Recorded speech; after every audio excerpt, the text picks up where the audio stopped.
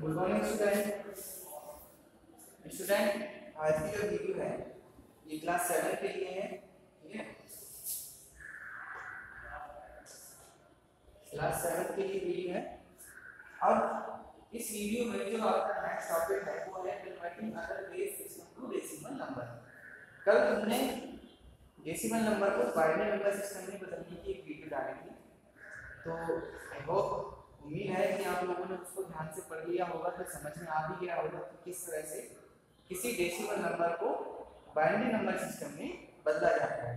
मैंने आप लोगों को एक क्वेश्चन भी दिया था, ठीक है?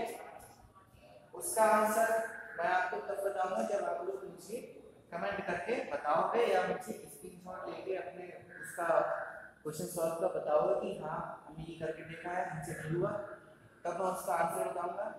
लेकिन आज की जो वीडियो है, इसमें हम डेसिमल नंबर सिस्टम को बाकी अन्य नंबर सिस्टम में बदलकर देखेंगे जैसे आपकी बुक में एक एग्ज़ाम्पल है, इस एग्ज़ाम्पल को तो हम नहीं लेंगे, ठीक है? कोई दूसरा एग्ज़ाम्पल हम ले लेंगे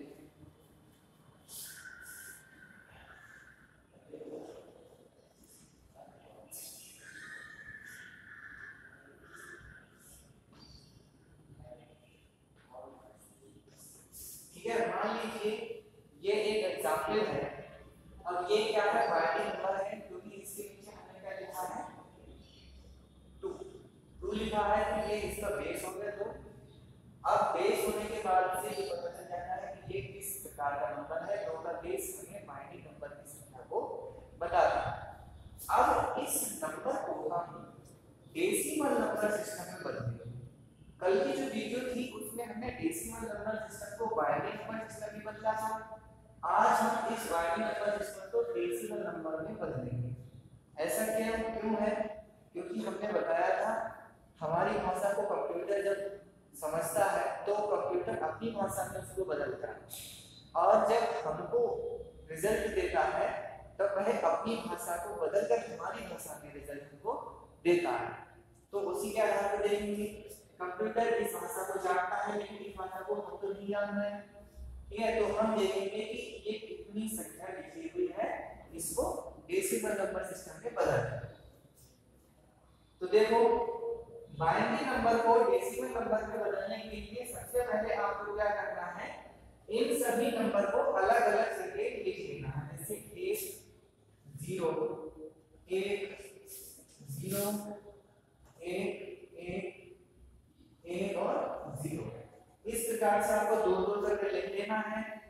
लिखने के बाद मैंने एक और चीज़ कल आपको बताई थी, अगर किसी डेसिमल नंबर को आप दूसरे बेस के नंबर में बदलेंगे तो उतने से ही डिवाइड करते हैं। यानी कि उसको भाग देते हैं। लेकिन, यहाँ उल्टा हो रहा है। ठीक है तो उल्टा होने के साथ साथ हम इसके नियम को भी उल्टा कर लेंगे। अब डेसिमल को जब आप बाइनरी में बदलेंगे तो दो से भाग देते हैं। लेकिन जब बाइनरी को डेसिमल में बदलेंगे तो दो से हम करेंगे इसकी गुणा। ठीक है? दो से गुणा करेंगे, जैसे दो लिखा और यहाँ पे लगा दिया ज़ीरो। यानी कि घात लगा दी है?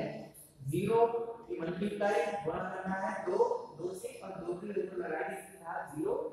ये रूल होता है कि हम घात में ही इसको डिवाइड सॉरी मल्टीप्लाई करते हैं। इसकी गुणा करेंगे फिर दो से, इसकी घात वन लगा देंगे इसको भी गुणा करेंगे, इसकी घात दो लगा देंगे ठीक है? इस प्रकार से हम इसको लगाते हुए चले जाएँगे। जहाँ तक नंबर हमारे पास होंगे। हमारे पास नंबर नहीं है जो कि वो घात सात तक हमने यहाँ पे ले लिया। ठीक है? अब इसकी जो घात है, इसी को आपको सॉल्व कर लेना है।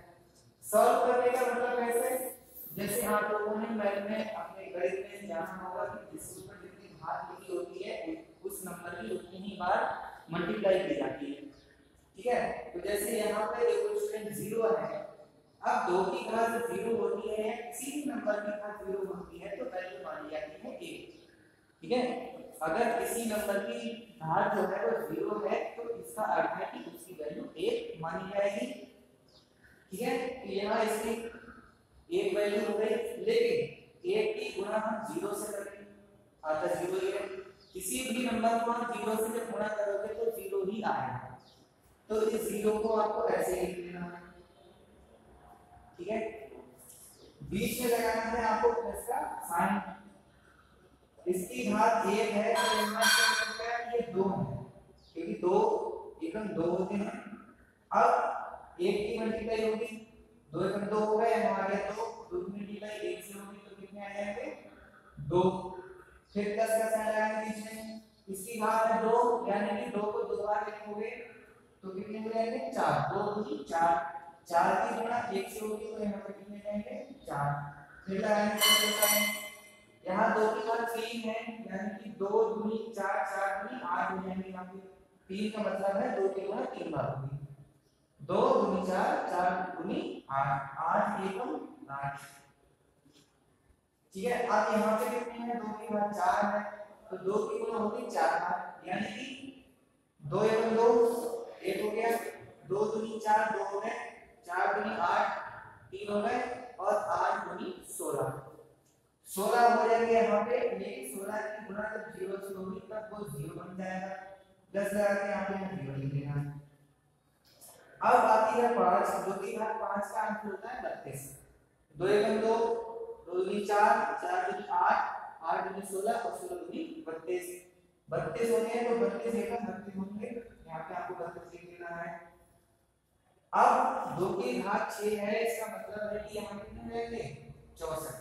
चौसठ की मल्टीप्लाई ज़ीरो से होगी तब ये ज़ीरो हो जाएगा। ऐसे यहाँ पे दो के बाद सात जब है तो ये हो जाएँगे एक सौ यानी कि हर संख्या पे हमको इसको डबल करना अट्ठाईस एकम तो एक सौ अट्ठाईस एकम, एक सौ अट्ठाईस ही होंगे।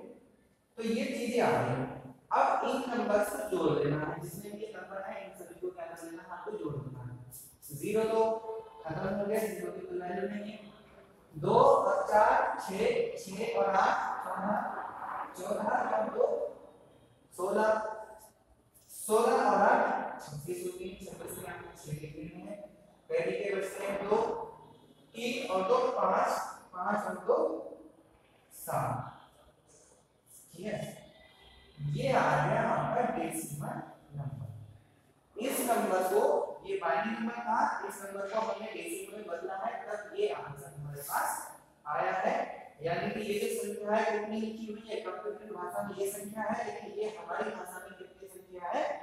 176 तो ये हो गया इसका आंसर ठीक है?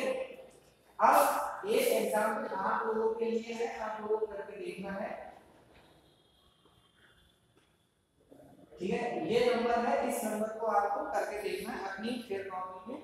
और अगर आप कर सकते हैं तो बहुत अच्छी बात है, नहीं कर पाते हैं, तब मुझे कमेंट करके बताएँगे कि सर हमसे ये हो नहीं रहा है, हम इसको नेक्स्ट पार्ट में सॉल्व करके देखेंगे। ठीक है? स्टूडेंट इसको आपको अपनी कॉपी में उतार लेना है सेम जैसे